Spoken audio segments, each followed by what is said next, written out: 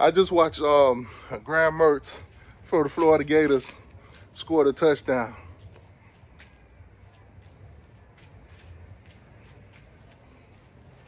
In garbage time. in, gar in garbage time. oh my God. Georgia came up in there being straight. Georgia came in, Georgia came into Jacksonville to play the Florida Gators in straight lube, lube or no lube. Florida Gator fans, baby lizards, baby lizards, where y'all at? Y'all told me Georgia for the past couple weeks have been um so close to losing and that, you know, y'all gonna be the one to knock them off.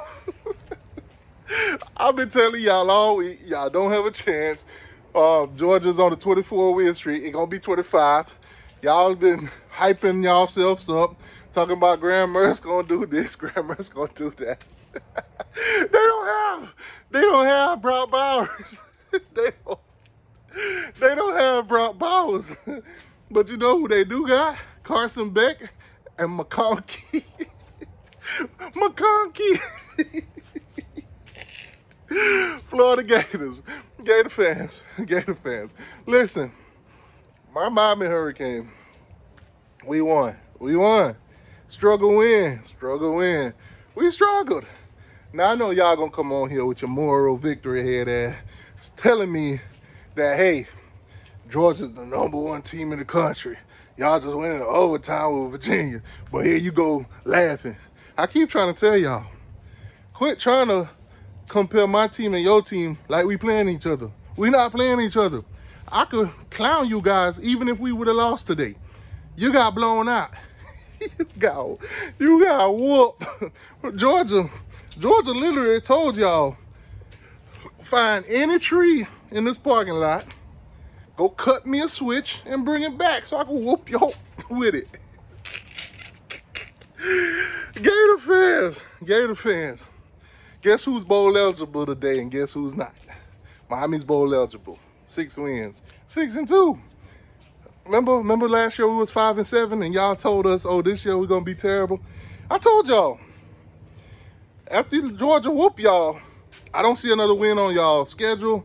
Um, you know, Arkansas might be promising to y'all, but everybody else, looks like an L to y'all. Y'all might end the season five and seven. Five and seven or six or six and six. One of them. That's listen, Florida fans, y'all should be happy about that because you'll be basically going above the expectation. Your expectation this week, this year, I'm sorry, was four wins. Y'all was predicted, projected, and predicted to go four and eight. Not just by me, but all the experts. I said it first. I said it first. I said y'all was going four and, and eight first. Everybody else started agreeing with it once y'all saw it on ESPN and um, SEC Network. But I told y'all y'all was terrible. I told you you was a mighty young team. You're going to make mistakes. And after last year losing your bowl game, 30 to um, 3, y'all finally accepted y'all was in rebuild mode. Billy's been recruiting well. I give that to y'all. But I told y'all, y'all are very young. 4 and 8 is the expectation. You already went above the expectation.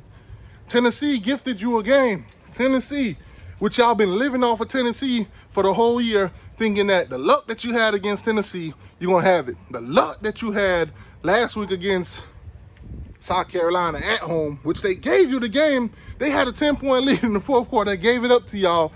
That, that's tough. That's tough. Florida, you are a four-win team, but you went above expectation. You thought you was going to beat the Georgia Bulldogs. The only Bulldogs in Georgia that you probably would, I don't know, I don't think, I don't think you're gonna beat any Bulldogs. I think at this point, y'all are scared of the Bulldog. None of you Florida fans have talked any trash this week. Y'all trash talking has been non-existent. Some of your fans, the delusional ones, I love them delusional ones. Whew, they give me a lot of things to talk about. But Florida, god dang, it, Florida, the, the um the spread 14? 14. You really try to lose this game by 24. y'all really, y'all are terrible, absolutely terrible. And Georgia didn't do nothing special this game. They didn't have to. This game was literally like playing the first couple four games when you don't have like a marquee matchup. This was like playing a uh, Georgia Southern. This was like playing a uh, Bethune-Cookman. This was like playing a team like Temple. Georgia really made y'all look like a cupcake team. They, Graham Mertz, they gave Graham Mertz. Uh, Georgia, y'all are very, y'all are very um generous. Y'all let that man score just to make him feel better about himself. Y'all trying to convince this man that he's not as terrible as he is so he could come back next year. Florida Gators, Florida Gators. Where did the dinks and dunks get you this game? Where where did dinks and dunks get you? I told y'all, y'all quarterback throwing dinks and dunks. He looks great. Y'all keep telling me y'all got a Heisman quarterback. Whoop dee doo. oh my God. Florida Gator fans, man, keep your head up. Hold your head up. Hold your head up high.